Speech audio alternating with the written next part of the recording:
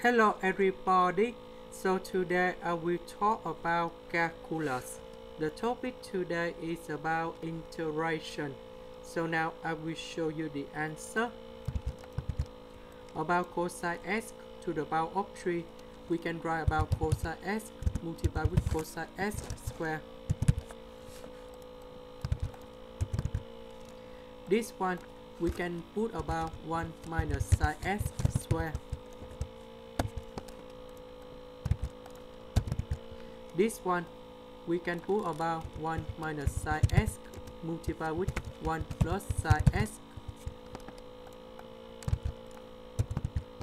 We simplify 1 minus sine x.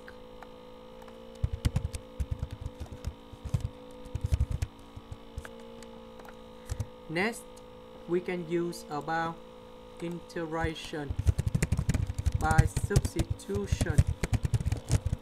So we put about u equal to 1 plus sine x du. You got about cosine x dx. This one we change for u. Cosine x dx we change for du.